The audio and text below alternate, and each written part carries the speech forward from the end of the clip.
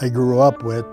My grandfather did this, my grandfather did that. Uh, but mostly the way when they start talking to me about it, said that he actually came over here in the uh, 1801, a little bit even before that, maybe in the 18, last part of the 1800s. But he, op he opened a little bakery there and, and uh, and they worked for a while and then things start going pretty good for him. So he decided to uh, somebody he decided he wanted some help and somebody told him i know a guy that's really a good worker but he lives in italy you know and he lives in the same town you did and his name is joe fazio. So my grandpa called there called to italy and uh, they said well he's in Sandusky, Ohio right now with his brother, so that's good. You know, if he wants to do anything with you, he ain't got that far to go. So he called Sandusky, and my dad said, uh, yeah, he says, uh, you know, I'll, I'll, come down and uh, talk to you and see. So he came down to start working for him, and things went real well with him. My grandpa said, why don't you go home and marry my daughter? He never met my mother. And he says, well, you know, I, I, you're going to send me home and you want to pay. You know, I'll go home, I'll meet your daughter, but, you know, got to take it from, from there, what happens. So he went there, bank, you know, they liked each other, and, and uh, so they got married in Italy. So they came, he came over to uh, America and he started working for my grandpa. Well, my grandpa start having heart problems.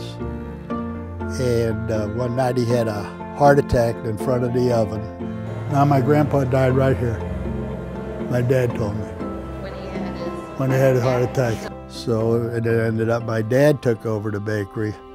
When I was about mm, maybe six years old, my dad decided that I was old enough to come and help him. And then when I uh, turned 13, he said, uh, they used to call me Sonny. Say, Sonny, you want to learn how to drive? And I said, yeah.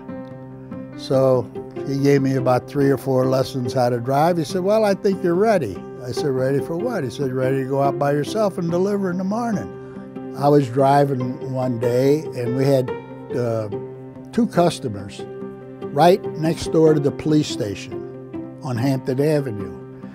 And we would pull in the alley and we would deliver them on their back porch. We would deliver the bread on the back porch. And the way we would deliver the bread to a lot of people is they would have a nail in the wall.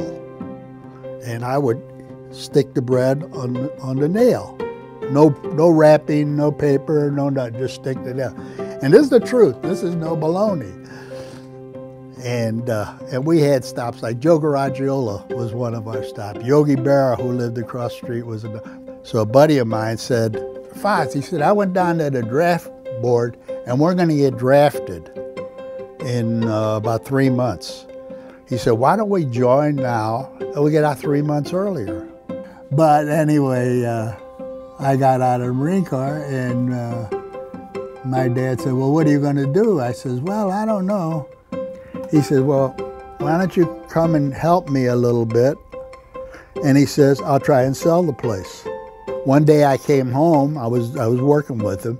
I came home and I seen a guy there and he says he wants to buy the place. And I said, yes, you know, good. He said to me, you sure you don't want it? I said, I don't want it. And the guy's still there. And he looked over the guy and says, I can't sell it. I can't sell it. Yeah, sell it, Dad. I can't sell it. I'll just keep working till, till I can't work no more. So I went back to work for him, you know, and uh, then I got married, and then I had Chuck, and then I was, I just showed Chuck the book. I was making, what was I making? Huh? 50 $52 Yeah, I was, I was making 71. I was taking home $53 a week, and I had a kid. I was going to have a kid. So he says, take over the business.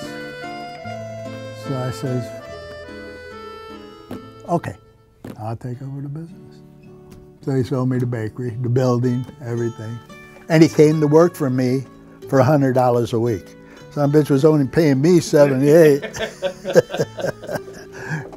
no, but I, I said, I'll give you $100 a week.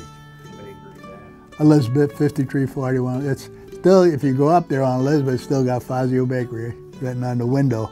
Well, I used to, I used to maybe 11 o'clock, I, would go outside. We'd be waiting for a, a, dough to get ready or something. And I'd sit on the back, a bumper of a truck there, and you could see the street and the people walking by. And I, and I'd see friends of mine and their girlfriends walking down the street. And I figured, you know, I'm gonna be here the rest of my life looking at them. You know, I'll never, I'll never, ever in my life be able to do that. You know, I couldn't, I couldn't look out and see me doing anything like what my dad did. My dad did it until I got him out of it, you know, and I didn't think these guys were going to get me out of it at that time.